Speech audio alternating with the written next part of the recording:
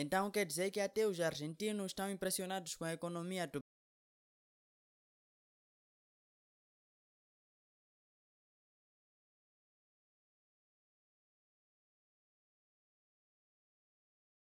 Então quer dizer que até os argentinos estão impressionados com a economia do Brasil.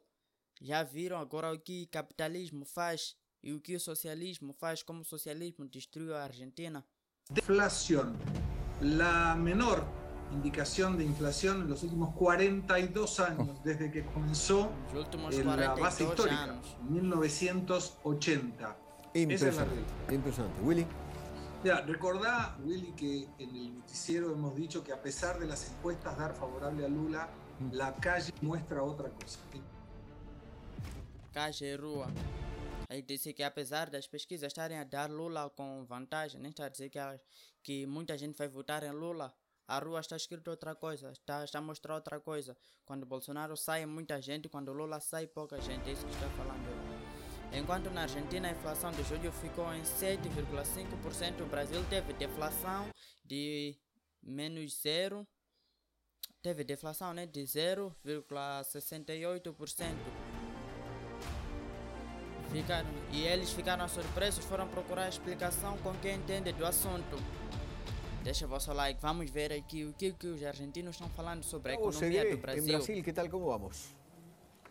Muy bien, Eduardo, buenas noches para vos, para todos. Acá estamos, pero tirando manteca al techo, porque la inflación es negativa.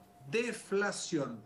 La Exacto. menor indicación de inflación en los últimos 42 años, desde que comenzó en la base histórica, 1980. Impressionante. Y esto tiene claramente una explicación, que no es suerte, y que por otro lado tiene la misma coyuntura internacional de la invasión rusa a Ucrania, de la pandemia que tiene todo el mundo, y que en algún momento compartimos en el noticiero, explicando que había una tendencia a la alta, que las bolsas iban a bajar, que las tasas de interés iban a subir, pero si vos querés, podemos eh, buscar el motivo por el cual esto ocurrió. Creo que hay un, Vamos a ver un, cuáles son eh, los una placa motivos. para esta explicación. Ahí la tenemos. Es la Daí estão falando aqui sobre a, a inflação, né? Primeiro, a inflação no Brasil, 0,68, a maior caída desde 1980, explicada por transportes e energia elétrica, combustível baixaram, e isso mesmo, combustível aqui no Brasil baixou demais, muito mesmo, até agora ficou barato do que meu país. De janeiro a julho, a economia foi de 4,77. Vejam só essa mudança de 4,77 para de inflação para deflação. De janeiro para julho, agora estamos em que mês? Agosto agora, quase setembro. Então, alimentos e bebidas, 1,3. caída de 1980 explicada. Primero, cayeron los precios de los transportes y la energía eléctrica.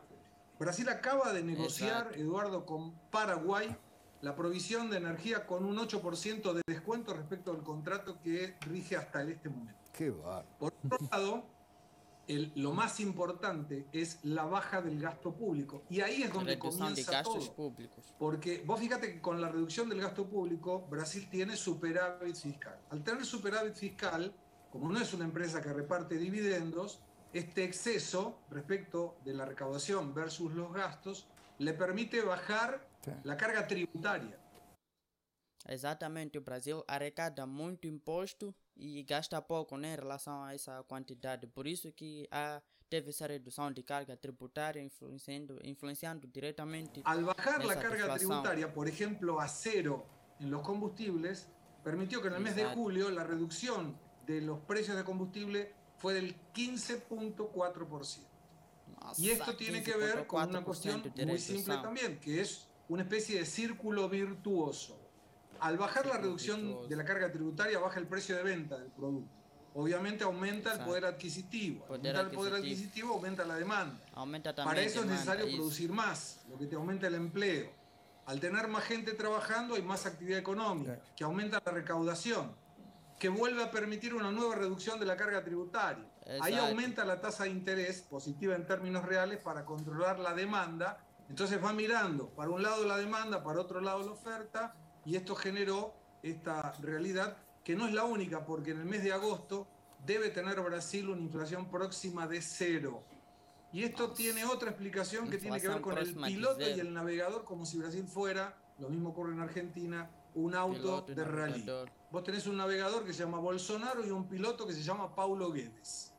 Nossa, exatamente. Gostei da explicação, como se fosse piloto e navegador né, de carro ou carro de rally. Também ele disse que piloto, no caso Bolsonaro, uh, o navegador, aliás, Bolsonaro, e piloto Paulo Guedes. Paulo Guedes, o ministro da Economia do Brasil, é muito, mas muito inteligente. Tenho aprendido muito com ele. Gosto muito de pesquisar assuntos de economia, né?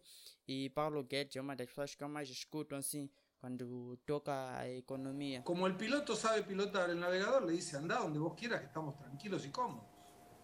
Y esto permitió esta realidad que, por un lado, proyecta un crecimiento mayor de la economía, debe ser próximo al 2%, y proyecta una reducción de la inflación que empezó siendo del 11% y hoy las proyecciones para el año 2022 son del 7.74%. Impressionante, impressionante. Willy? Verdade, muito impressionante. E aqui está o mapa né, de inflação Aqui Argentina 7,5%, Venezuela 5,3%, Chile 1,4%, Bolívia 0,36% e o Brasil é o único com deflação. Con 0,68%. Ahí hay uno de los datos que también están siendo de cerca los, los inversores, sobre todo en Brasil, y que afecta en definitiva a la Argentina también, es eh, qué va a pasar en las elecciones presidenciales de octubre, ¿no? Y ahí eh, me imagino que, que, que no hay tanto ruido porque no se esperan grandes cambios en la política económica. ¿Es así o, se equivocan los mercados?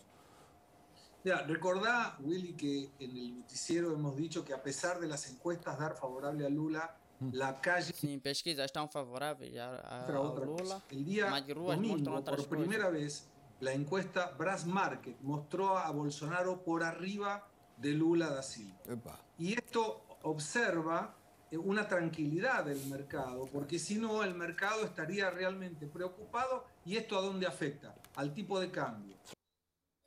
Falando nisso, vejam só esse mapa que vou estar colocando aqui na tela que eu vi há dias atrás. Aqui está o mapa do Brasil e aqui todos os países que fazem fronteira com o Brasil. Vocês podem ver, a maioria dos países foram tomados por partidos comunistas, como Argentina, Chile, Bolívia, Peru, Colômbia, Venezuela. Todos aqueles que apareceram aí está também aqui nesse mapa. E por isso que eles estão preocupados, né? Os argentinos querem saber se com a eleição do, com a eleição do Brasil, será que o Brasil também vai ser tomado por um partido político socialista ou vai continuar a ser capitalista e a economia vai continuar crescendo? Assim, isso é o que eles estavam questionando questionando. Esse mapa também vai estar aqui na descrição, quem quiser baixar. Ou é só vocês fazerem print que fica mais fácil. E comente aí também o que você acha disso. Se você prefere que o Brasil continue com, assim como está, com o Bolsonaro no poder, com, sei lá, com o capitalismo ou socialismo, né? Com Lula no poder, não sei. Comentem aí vocês próprios brasileiros, quero saber qual foi a sua opinião sobre tipo, isso. O chegou a estar 5 com 40, 5 reais com 40 e está 5 com 11. O câmbio chegou a estar 5 com 40, agora 5 e 11. Ah, e baixou mais do que isso. Deixa eu entrar aqui no na internet para eu mostrar para vocês preço de dólar para real, tá aí. Ele disse que estava 5 e 11, agora vejam só 5,06. Deixa que a câmera foque aí 5,06. Até estava desvalorizado também em relação à moeda do meu país. Estava começando a perder valor, né? Porque real é mais caro, sim.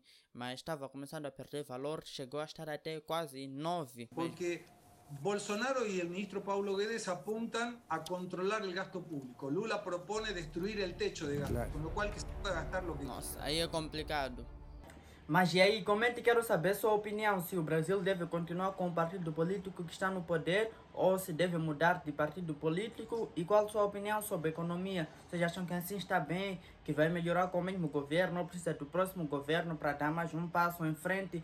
Comente aí que quero saber a vossa opinião. Lembrando que o link original está aqui na descrição e seja membro também do canal se você quiser se tornar apoiante, participar do grupo do WhatsApp, comentar sugestões de vídeos prioridade para ter comentários respondidos e mais outros benefícios. É só se tornar membro por apenas dois reais. Link está aqui. Se torne membro e apoie o canal. Você estará ajudando muito para produzir conteúdos com mais qualidades, conteúdos bem tops mesmo. Até a próxima e fui. Aguardo você por lá.